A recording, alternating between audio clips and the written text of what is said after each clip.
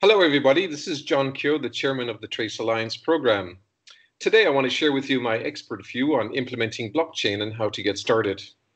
It's not necessarily linked and loaded with uh, blockchain. This is, in fact, a common platform and framework that I'll give you an overview on related to any technology and especially relevant right now for blockchain projects.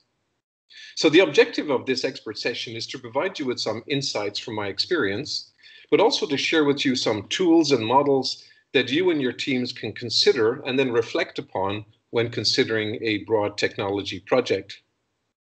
So with that in mind, when we look at the supply chain, the supply chain will be the focus of, of this briefing. And I'm going to do this in 10 minutes, so it's going to be coming at you fast and heavy.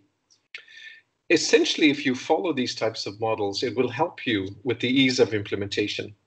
And it's also considered a best practice. Now let's look and break this down a little bit. We know in the supply chain we have a concept of track and trace. Track and trace is really at the operational level. and It's about data collection. And in order to enable that, you need common enterprise standards or, or supply chain standards. And we have that today with GS1 standards. And remember that the OriginTrail protocol is built on GS1 standards. And then at the operational level, when you collect that data, at the business management level or the operational level, a little bit higher level in the organization, you have what's called event management. So, what is actually happening? What are the business services that we have and the interoperability between our, our different facilities, our different plants, our distribution partners, and our other business partners, our suppliers, and our customers? When an event happens in the supply chain, it's like something as simple as we have shipped something and you send an advance notification so think about these three concepts track and trace, you have to sense and respond, and then you have to analyze and decide. These are three different levels of aggregation in an organization.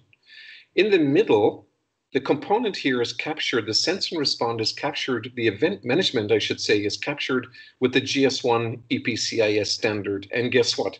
The OriginTrail protocol is built on the GS1 EPCIS standard. So for track and trace and the sense and respond in the supply chain, the data collection and the event management, the whole interoperability component, those critical components are already captured in the OriginTrail protocol. And on the right-hand side is the optimization. Now let me go to the next slide and explain that a little bit. If you look at the operation, operationalization and the analyze and decide, this is how you could look at it. At the bottom level here, we have operations and operational management or operations management. And a little bit higher than that, we have tactical, tactical business decisions. This is where the business strategy is defined and the operational strategy is defined. And at a higher level, the VP of supply chain is concerned with the strategic decision making of the organization. So as the data is captured at that lower level, and at the tactical level, you're doing your event management, you're looking at things like trend uh, detection, predictive analytics, and, and, and really tactical business planning between organizations.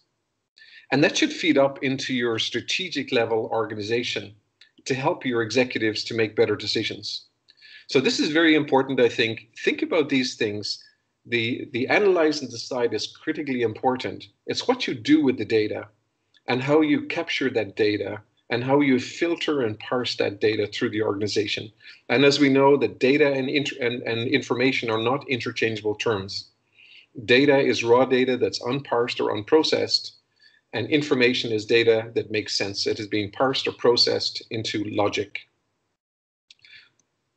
Now, if you look at the solution de design and deployment framework, this is just one model I wanted to share with you. And the model is very simple. It's plan and analyze, design, develop, deploy, and manage. And there are multiple uh, variations of this model out in the market. The key things I want to get across is that when you start a project, you need to consider the vision and the strategy. After you do the vision and strategy at the business design stage or the, the architecture stage, you can develop the business architecture. And this is where about 80% of the change happens in an organization at the business architecture level. And then it's a very valid notion to go off and do a proof of concept. The proof of concept can help you then, you iterate back to vision and strategy, you iterate back to the business architecture, and then you iterate forward to your business case. So the proof of concept will actually help you And in fact, if you even if you don't have a vision and strategy, you can still start with a proof of concept. It's a very, very valid way of starting a project. Play with it, get into a sandbox, uh, learn about the technology, and see how it fits in your organization with a key focus on looking at a use case.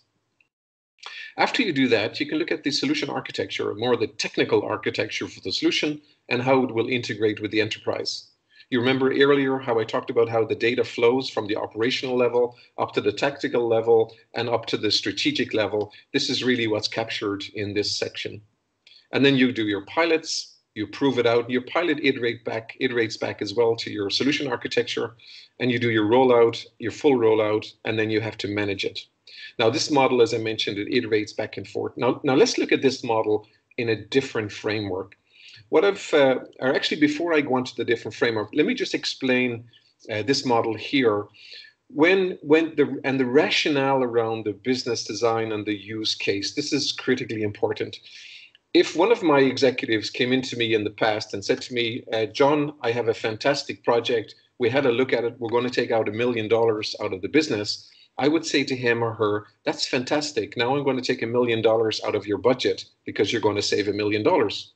So you have to be very cautious about how you approach a business case because the technology adoption will, will actually impact multiple pillars of value creation within an organization. And let me explain those. So, what I would expect from my executives coming into me is that they're talking about whether they're increasing revenue. See the red box here.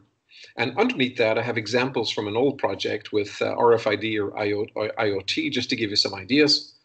So they're either increasing revenue, or they're reducing operational costs, or they're opera, op, uh, optimizing the assets that we have employed or deployed within the organization. Now, these three are absolutely critical increasing revenue, reducing cost, or optimizing assets. The one on the right hand side here in yellow is what I call the variable. And this is something where you can talk about enhancing safety or quality control. This could be related to food safety or product safety.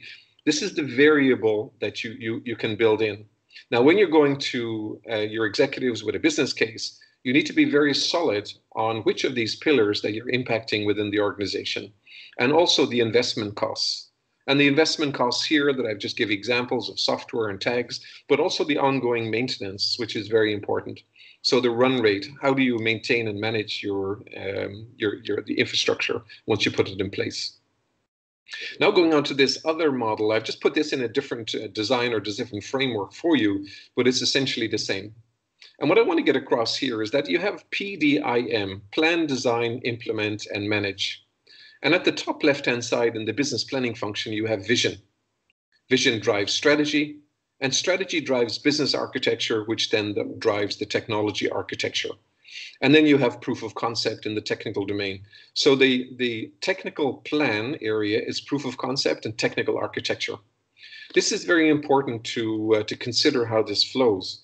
But you could also start, as I mentioned earlier, you could start with a proof of concept and then iterate back up to vision, strategy, and so on. And as this model starts to mature, the iterative model, as I just mentioned, every section in this iterates back to its previous model. The proof of concept feeds back into the business vision, which feeds the strategy and the business architecture. And also when you get into the maintenance mode, you're still, you always go back to the vision to see if what we've implemented 12 months ago is still part of our vision. And this is important. So this is a very simple model and it's a very iterative model. And if you apply this model with your projects, I guarantee you, you'll have more success than you're probably having today. Now, a couple of useful links for you to look at. I won't go through these projects except to point out the one at the bottom. This is from the People's Bank of China, and it just came out uh, just a couple of days ago.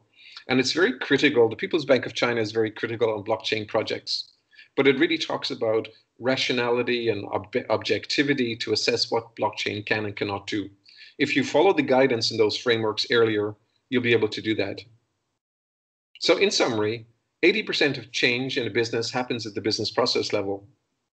Business process mapping is a vital tool for success, and supply chain mapping is a necessary tool within an organization. A proof of concept is a valid starting point to fine tune a vision and a strategy. and iterating between the models and learnings, using the learnings is absolutely vital. So I'd like to thank you for listening in. Don't forget, please join the Trace Alliance program. It's a collaboration hub for accelerating blockchain adoption. Currently, we have over 60 members and 60 companies working with us, although it says 50 on this slide. In the past week, we've added about 10 more. So we're delighted with the collaboration and the adoption of the blockchain uh, protocol from OriginTrail, and we welcome you as members. Thank you.